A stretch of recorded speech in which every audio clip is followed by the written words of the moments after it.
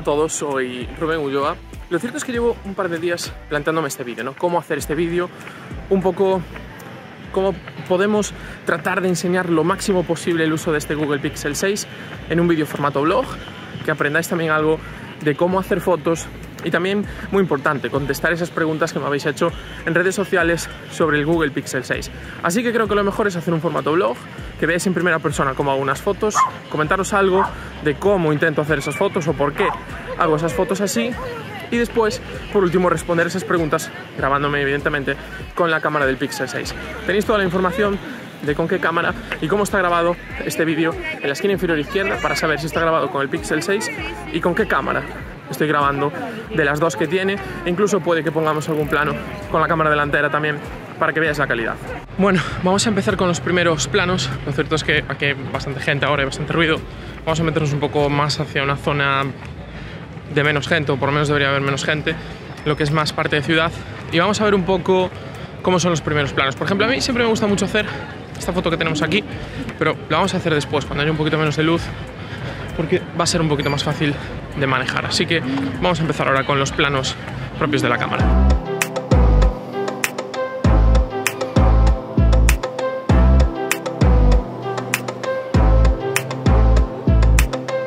Bueno, no soy yo un grandísimo fotógrafo ni muchísimo menos, pero una de las claves para que cuando a veces veis mis fotografías os gustan, uno de los primeros es mantener el equilibrio de pesos y también mantener lo que es algo tan fácil como la simetría. Por ejemplo, vemos en este caso, yo estoy en esta calle e intento estar un poco en el centro de la perspectiva, un poco intentando mantener el equilibrio entre los dos lados. Esta fotografía la podemos hacer desde cualquier otro punto, pero es una calle muy estrecha, entonces si nos movemos un poco hacia la derecha, solo un poco, e intentamos hacer la foto recta, lo cierto es que no acaba de trabajar. Sí que es cierto que tenemos una de las fugas en el tercio, pero no acaba de trabajar. Entonces, el otro punto sería romper por completo esa simetría y que se note específicamente que no queremos hacer esa simetría y que intentemos mantener la regla de los tercios, que va a ser el siguiente punto.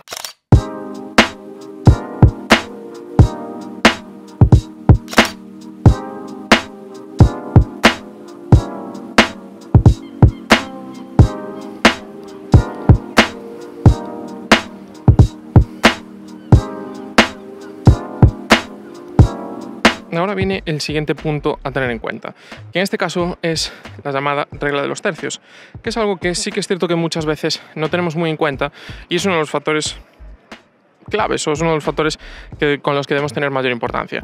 Por ejemplo, en esta fotografía tenemos lo que podemos decir un elemento bastante clave, que es esta farola que está aquí, ¿no? que tiene bastante peso. Lo cierto es que es el elemento que más peso tiene. Y después el otro es ese pequeño elemento que está ahí, que es la luna. Entonces en este caso lo que podemos hacer es intentar mantener la regla de tercios en los dos. ¿Y cómo podemos hacer eso?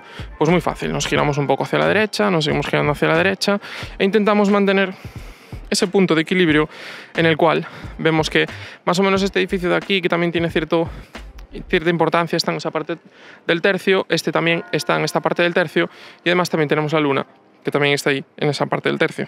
Podría ser una de las claves para hacer esta fotografía y que tenga cierto peso y cierto sentido. Como siempre, en la siguiente clave os voy a contar también ahora cuál va a ser.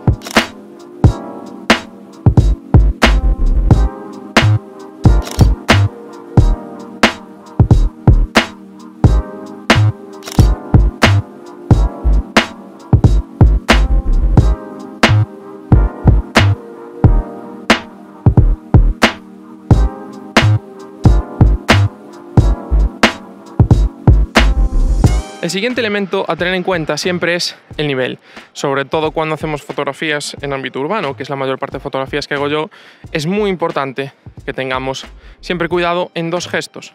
Uno es este, ¿vale? Para que veáis ahí, en ese caso, las farolas van hacia arriba o hacia abajo. Nosotros no queremos eso, queremos que esté a nivel y el otro es este que las farolas estén caídas hacia uno de los lados. Nosotros no queremos eso, queremos que esté al máximo nivel posible para que las líneas verticales sean lo más verticales posible. Por ejemplo, si yo intento hacer esta foto aquí, intentamos mantener regla de tercios, intentamos mantener vertical, hay algo que falla, hay demasiadas cosas porque hay mucho peso en el lado de la izquierda y poco en el lado de la derecha. Entonces lo que tenemos que intentar hacer es compensar ese elemento. Y si nos movemos hacia esta zona, intentamos hacer un poco lo mismo, vemos que tenemos en la derecha un elemento con mucho peso que contrasta con el elemento de la izquierda y con esa farola, vemos que tenemos esos elementos centrales, aunque sí que es cierto que seguimos teniendo un poquito más de peso en el lado de la izquierda, con lo cual nos podemos intentar girar un poco, intentar buscar cierto equilibrio entre las fugas, entre el último punto que nos lleve, porque ese puede ser otro de los caminos, que haya elementos que nos lleven la visión hacia el centro de la imagen o hacia el elemento que nosotros queremos ver. En este caso, lo más interesante sería que aquel edificio del fondo, que es un edificio de un banco, es un edificio que es bastante emblemático de Coruña, tenga más importancia, con lo cual, si nos movemos un poco más hacia adelante, empieza a ganar peso y tampoco está mal que esta luz que me acabo de pasar tuviera cierta importancia en la escena porque nos puede cerrar un poco la imagen por arriba y nos acaba dando cierto equilibrio entre los diferentes elementos de la composición.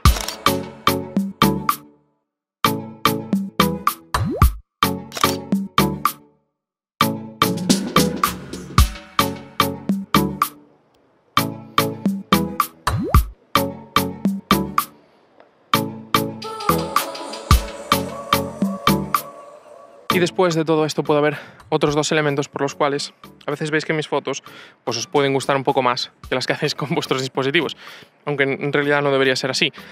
Uno de los primeros es la hora, ¿vale? Esta hora es muy bonita, cerca de la hora dorada, la hora azul, donde el sol se está poniendo y donde en realidad tenemos cierta calidad. Ahí sí que vamos a tener un punto extra y un factor diferencial, porque veis que los colores son muy bonitos, tenemos un azul que contrasta mucho con esos tonos cálidos y lo cierto es que las fotografías quedan bastante bien. Y el otro de los factores, quizás otro de los elementos a tener en cuenta, es también el ambiente. Evidentemente, si te vas a cualquier calle que puedas encontrar por cualquier sitio, pues no vas a tener la misma imagen o la misma visión que puedes tener en estos sitios. Es muy importante que si vais a hacer fotos a algún lugar o queréis hacer fotos de algo muy concreto, busquéis siempre cuáles son las mejores horas para hacer las fotografías, ya sea porque hay poca gente o ya sea porque es la hora correcta del atardecer, el amanecer o la mejor hora posible para sacar el máximo partido a ese sol, a no ser que este, por ejemplo, estéis en un sitio donde queráis remarcar con mucha potencia ese extra de que hay mucha luz solar.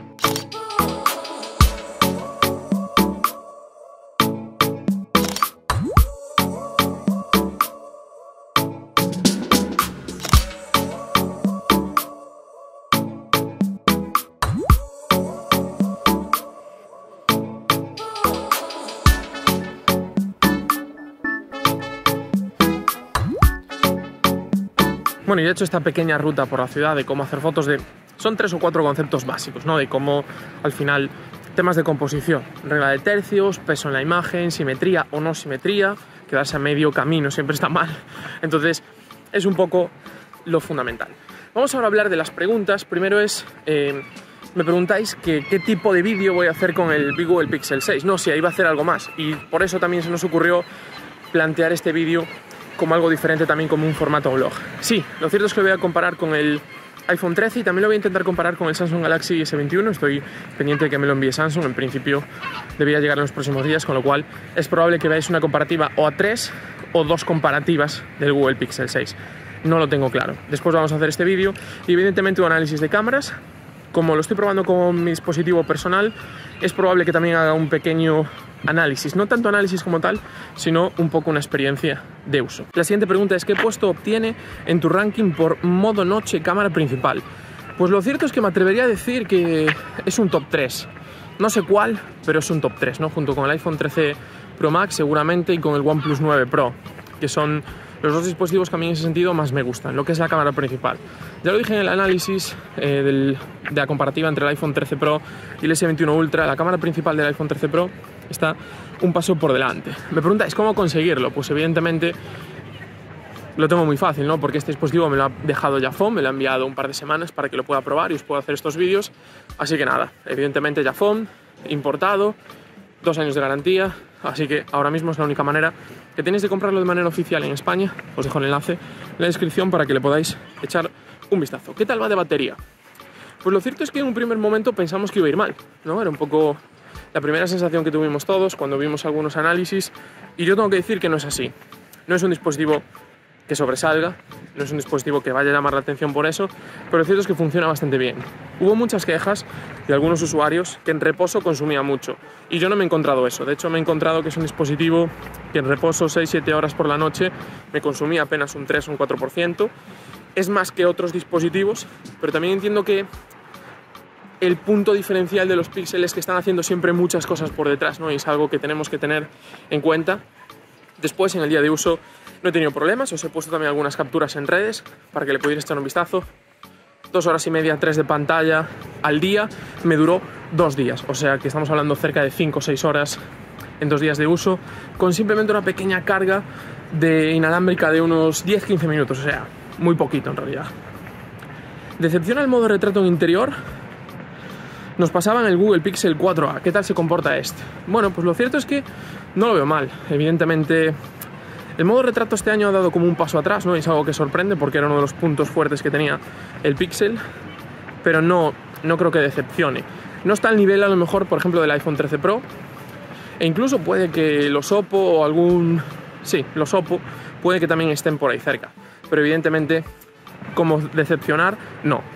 ¿Es bonito estéticamente? Pues tengo que decir que sí. Por primera vez un dispositivo Pixel es no solo bonito, sino además muy bonito. Está muy bien fabricado. Evidentemente esta es la versión menos premium, porque la versión Pro tiene acabado metálico en el lateral, en acero. Este es metálico, pero es en aluminio. Y te da una sensación de que casi es plástico, ¿no? Que, que no es plástico, pero sí que te da esa sensación un poco por los acabados. Trasera muy bonita, yo tengo el negro bicolor, lo cierto es que le queda bastante bien. No creo que sea el dispositivo más bonito del mercado, pero es un dispositivo muy diferente, con mucha personalidad y que lo cierto es que os puedo recomendar a cualquiera si buscáis un terminal diferente. Y me gusta mucho que cuando lo apoyas en la mesa no baila al tener el módulo de cámara completo. Rendimiento en juegos. Pues no lo he podido probar mucho, porque yo no soy mucho de jugar tampoco, y como desde hace bastante tiempo que no hago análisis completos, no exprimo los juegos, ¿no? Pero ¿qué he notado? He notado algo similar, de hecho tenía varios dispositivos con diferentes procesadores, he notado un...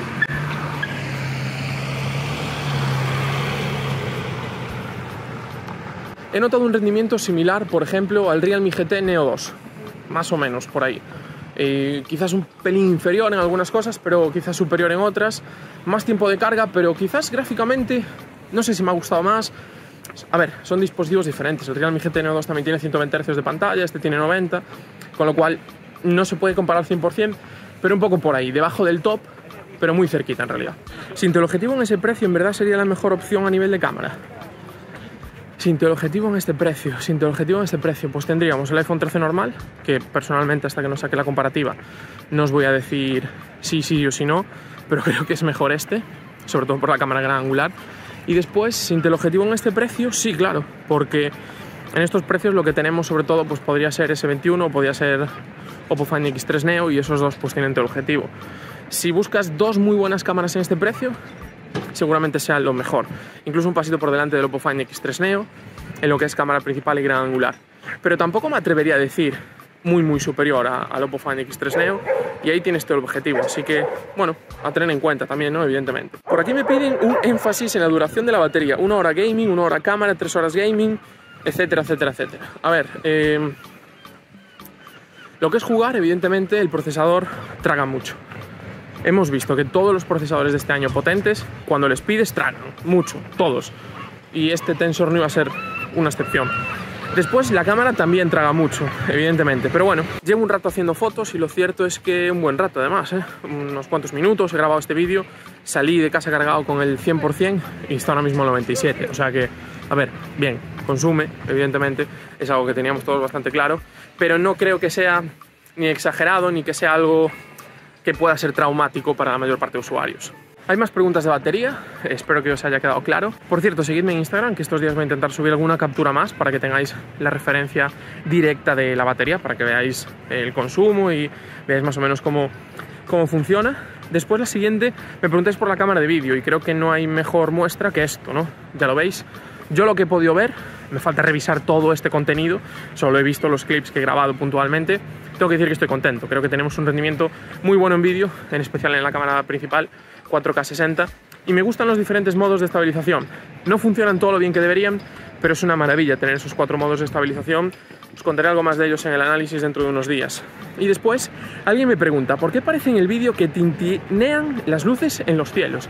Yo no lo he notado, pero creo que puede ser por un tema de adaptación del HDR. A ver, es algo que no tengo del todo claro y es algo que yo no he percibido, pero sí que es cierto que esa puede ser una de las razones, ¿no? Que haya ciertos cambios en el HDR en tiempo real porque no siempre se previsualiza todo lo que es la fotografía computacional y en algunos momentos puede darse esa situación de que se adapte, de que no se adapte. Y espero que se me esté viendo bien, porque estoy con la cámara principal y no sé si la tengo que subir un poco más o no, que me está empezando a doler el brazo muchísimo porque no la quería traer en, en GorillaPod, quería que lo vieres directamente grabado con la cámara, de hecho el GorillaPod lo traje, que está en la mochila, no sé si se ve aquí en mi lado derecho. Y lo cierto es que estas son todas las preguntas que habéis hecho. Hay más preguntas, lo mismo, rendimiento en juegos, hay más preguntas de batería, hay una pregunta había una pregunta de pantalla, que no sé si no apunté o no. La pantalla está bien, evidentemente no llega al top, pero está bien. Vale, la pregunta que ahora que estaba repasando, o me la salté en la lista, o me la salté al pasarla, pero sí, había una pregunta de la pantalla, ¿no? Que había gente que había tenido problemas. Yo aquí no he notado ningún tipo de problema. Y si veis algo en los vídeos es el protector de pantalla que está puesto por encima, que viene directamente de la tienda. Y lo cierto es que poco más os tengo que decir de este Google Pixel 6. En los próximos días vienen más vídeos, ese análisis completo, también tendremos las comparativas con otros dispositivos de precios similares de gama alta. Y poco más os tengo que decir. Os dejo por aquí el vídeo de 5 mejores pasos para hacer mejores fotografías. Creo que puede ser interesante para que le deis un puntillo. Y por aquí os dejo el de Lightroom para que aprendáis a editar vuestras fotos. Espero que os haya gustado este vídeo grabado prácticamente íntegro con el Google Pixel 6. No os olvidéis en darle like, suscribiros y nos vemos muy pronto.